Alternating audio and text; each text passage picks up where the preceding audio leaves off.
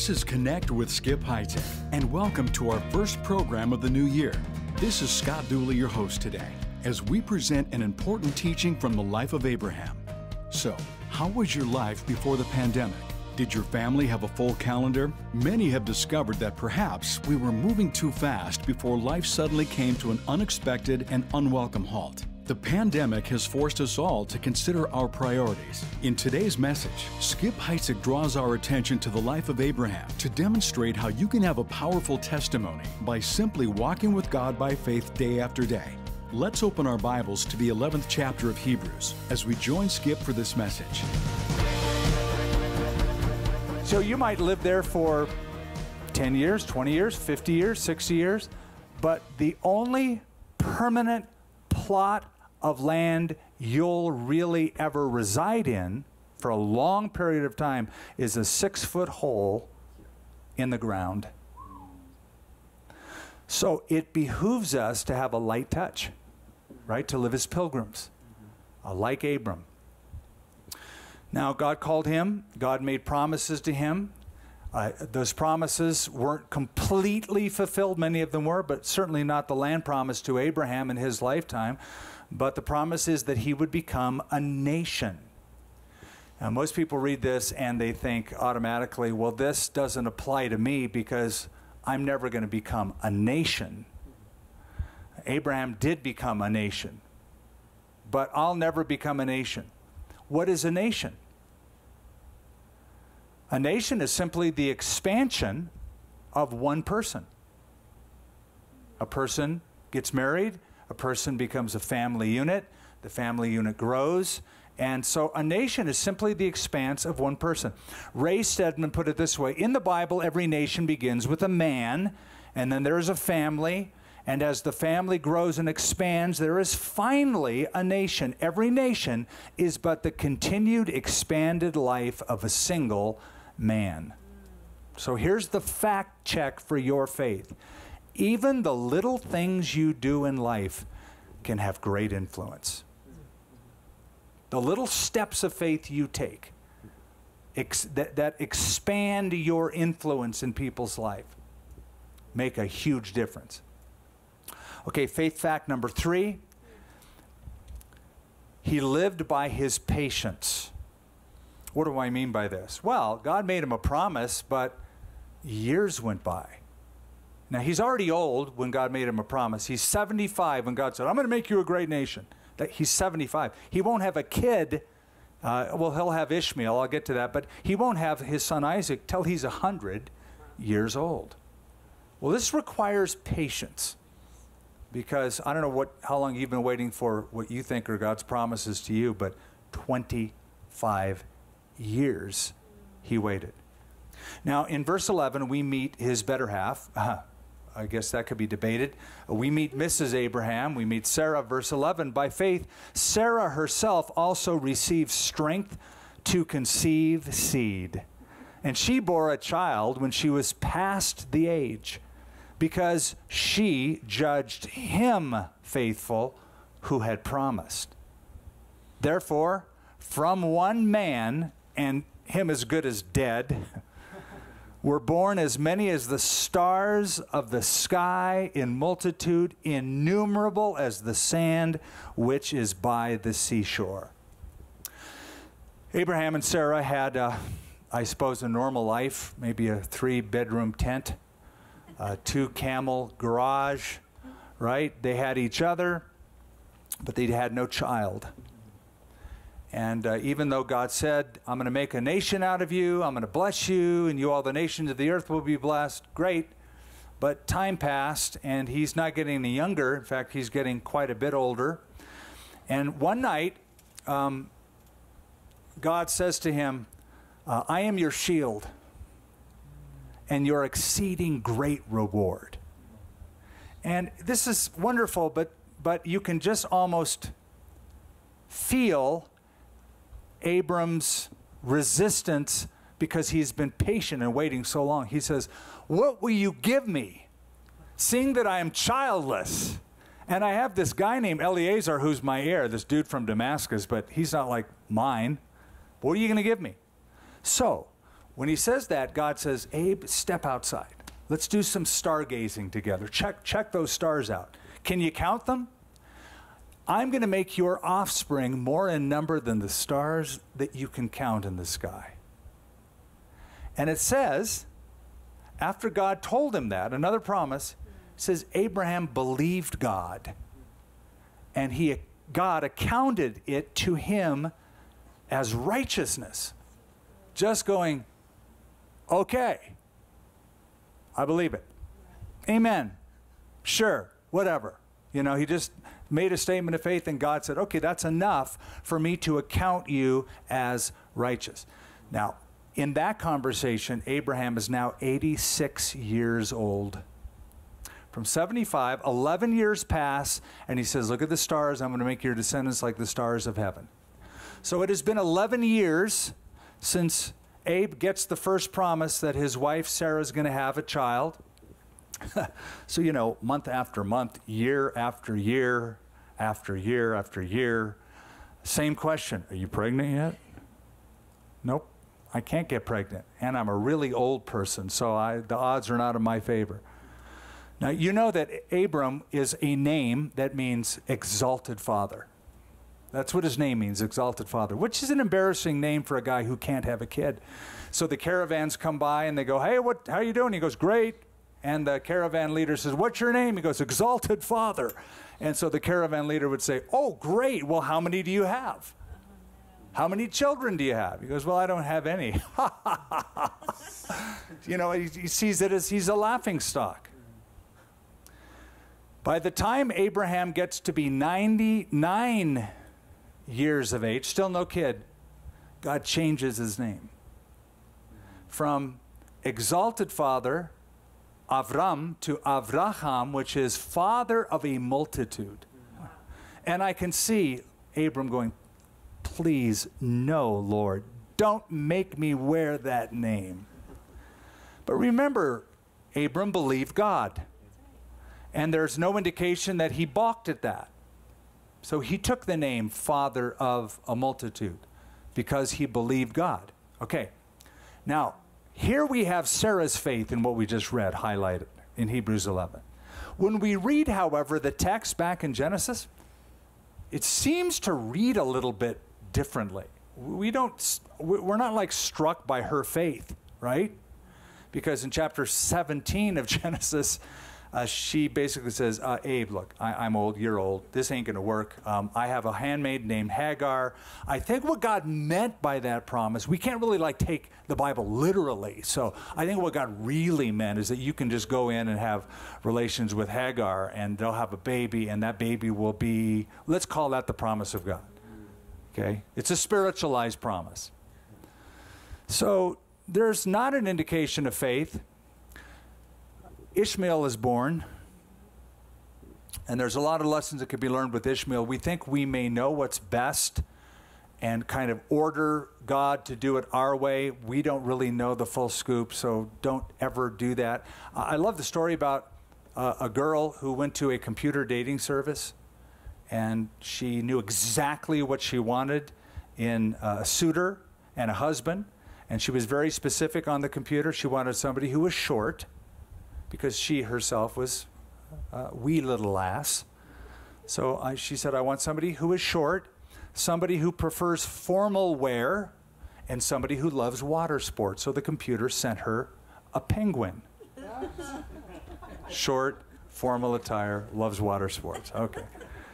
Um, here's the point even when we order up a penguin in life, an Ishmael, God is still faithful. So they go ahead and have a child named Ishmael.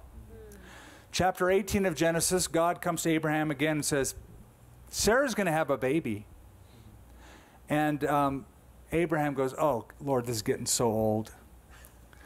Um, let Ishmael live before you. Oh, that Ishmael might live before you. Just fulfill your promise through him. You know, we went through this rigmarole to have him. He's here. Use him. And God says, Nope.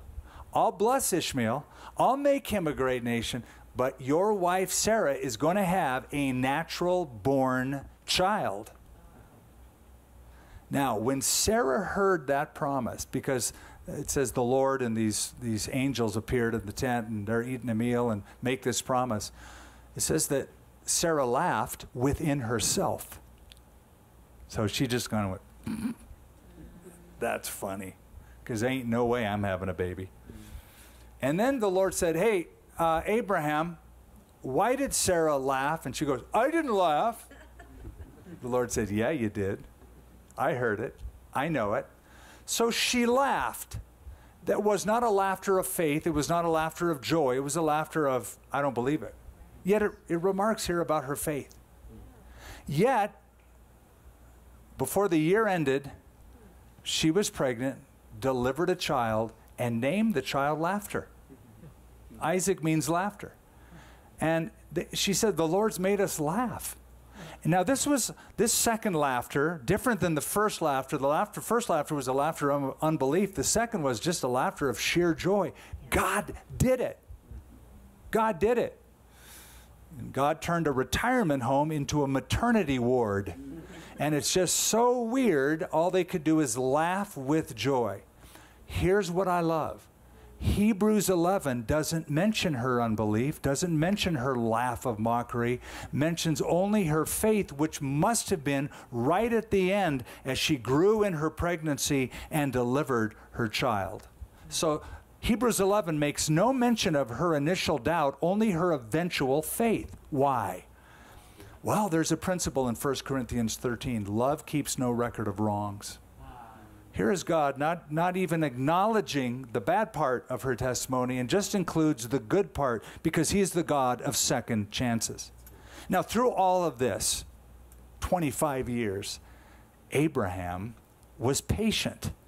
Verse 12, notice it again. Therefore, from one man, and him as good as dead, he's 100 years old were born as many as the stars in the sky in multitude, innumerable as the sand which is on the seashore. Reproductively, his body was dead. Physiologically, Sarah was barren. But Abraham is not thinking of human frailty, but of divine faithfulness. Circumstances, I've said this on many time, uh, occasions, I want, just want to resurface this. Circumstances don't make you, and they don't break you they reveal you. When things get good or things get bad, the real you comes out.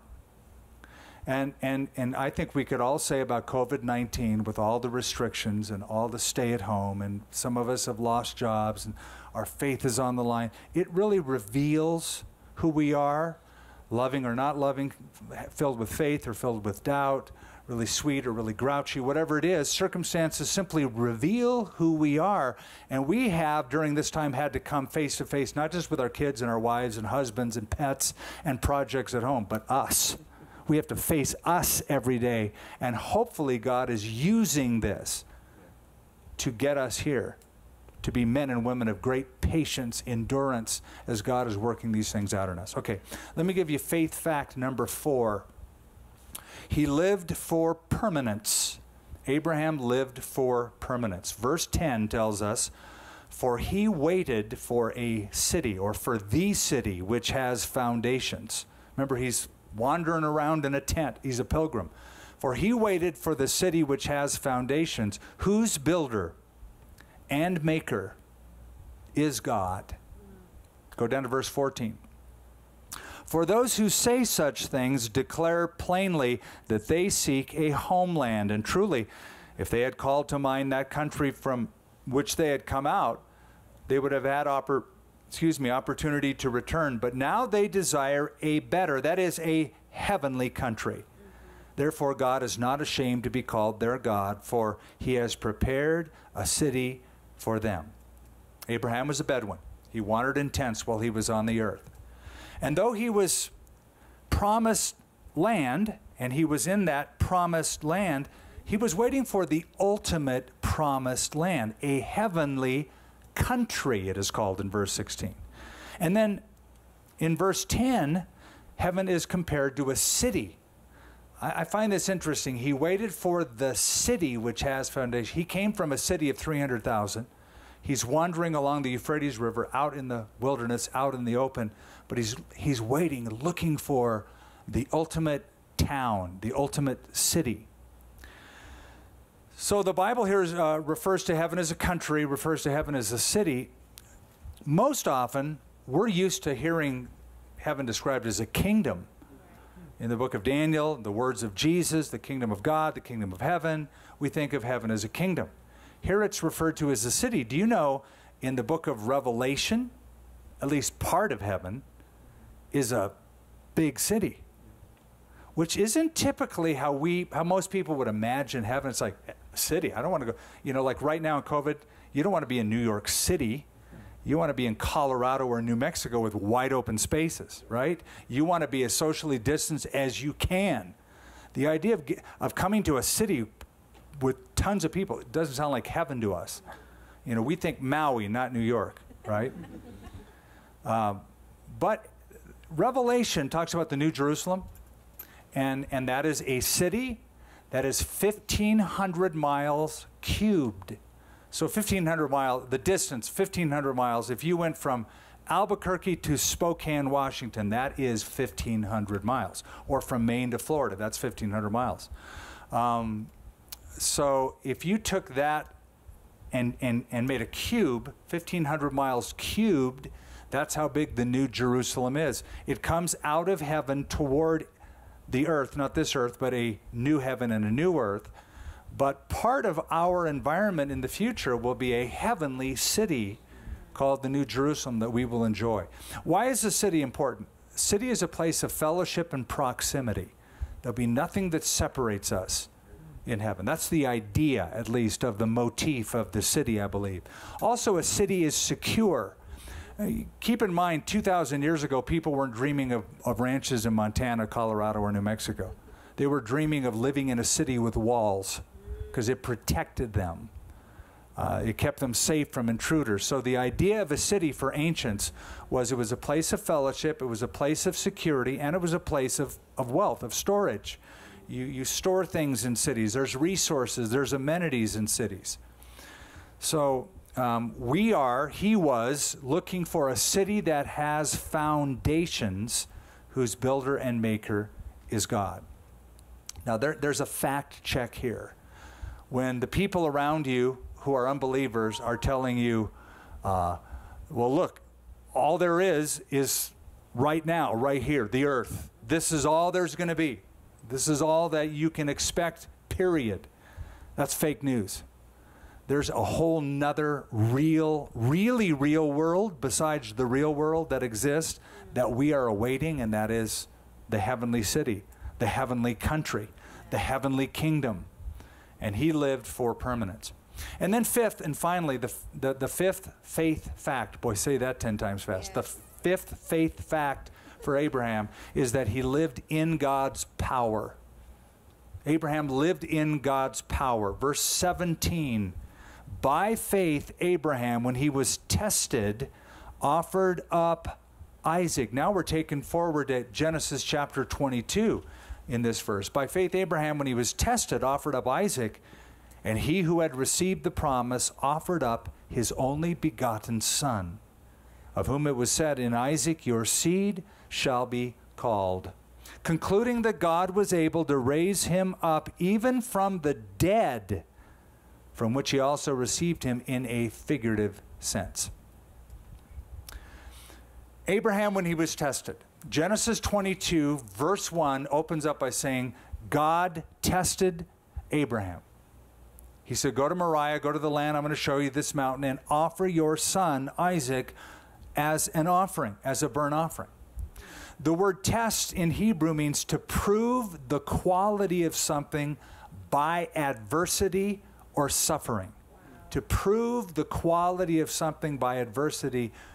And, and God tests people. God does not tempt people.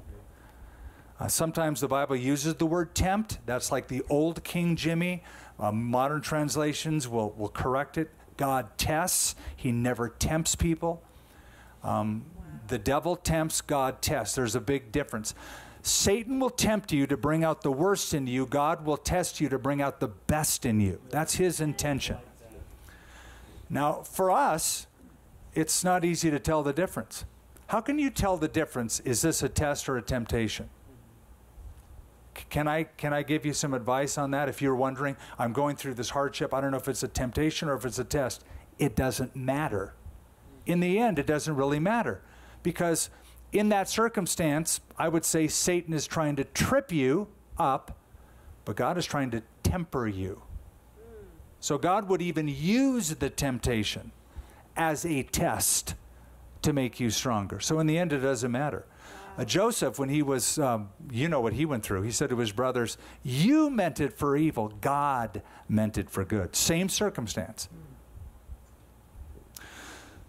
So, you know what the test was. It was offering up his son. Um, God touched the most sensitive nerve that God could touch in Abraham's life. Kill Isaac?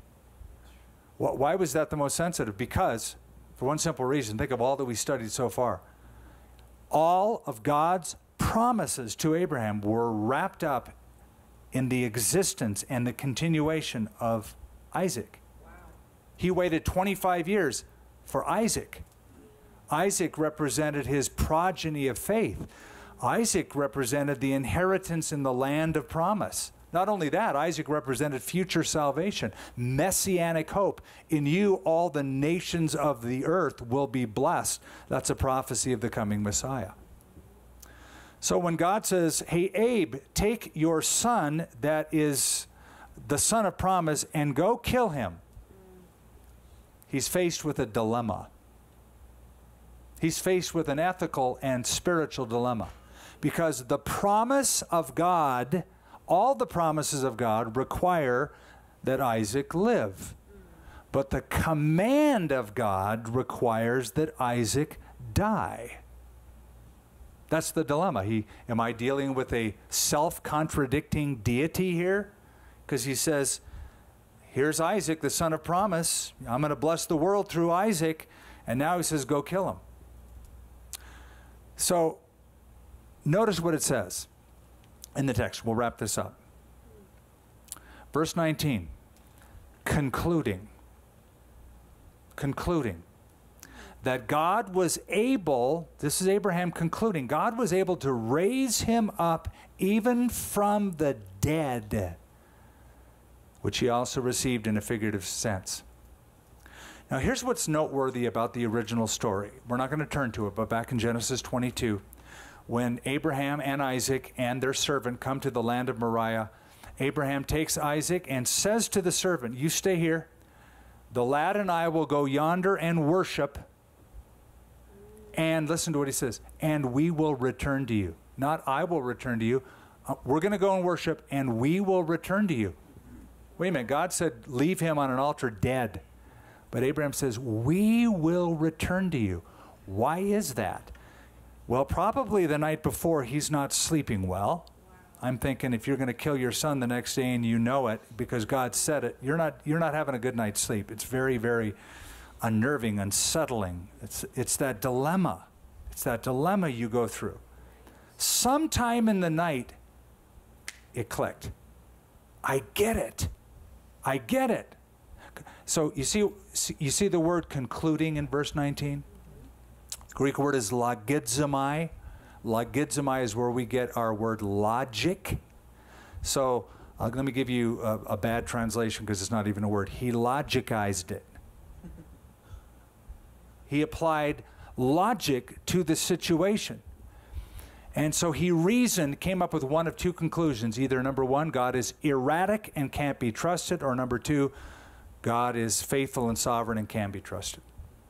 Which means that I'm going to go up there and plunge a knife into my son, and God's going to raise him from the dead in front of my eyes, and we're going to come back and see the servant that I said we'd come back to. We're going to go worship, and we will be back.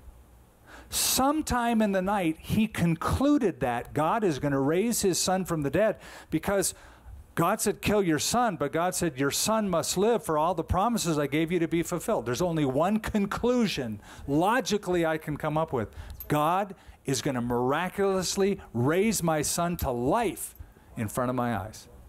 So we'll be back.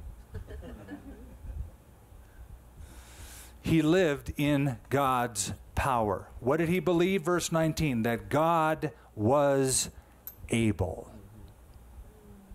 Hang on to those words, brother and sister. God is able. What are you dealing with? God is able. What are you fearful of? God is able. What are you struggling over? God is able. And another secret of Abraham, it said, Stay here, the lad and I will go yonder and worship. Never forget to worship in the calamity like Job did, like Abraham did, like you and I must. Pause on the ash heap and worship God. Are you discouraged as you're looking ahead? Are you unsatisfied because you wish businesses were at 50 or 75 or 100% and they're not, and the economy is slow, and you might face a very uncertain future, even a dire future. Uh, I'm certain I'm speaking to some who feel discouraged. God's plan cannot be thwarted, and God has all power at His disposal to take care of you. Those are ideal words to launch us into 2021. Fact Check is our series, and the life of Abraham our subject in this message by Skip Heitzig. Now we want to offer you a copy of Skip's latest book. In Biography of God, he shares the intricacies of what the Bible reveals about God's character and his plans. Skip helps you recognize and remove the limits you may have placed on your idea of who God is. You'll gain a better understanding of the omnipotence, paradoxes, and mystery central to God's being. Order your copy of Biography of God online at connectwithskip.com for a donation of $35 or more. That's connectwithskip.com or by calling 1 800 922 1888. That's 1 800 922 1888. And get a copy of this interesting and helpful book. Call 1 800 922 1888. Thanks for joining us on Connect with Skip Heitzig. We're connecting you to God's never changing truth in ever changing times.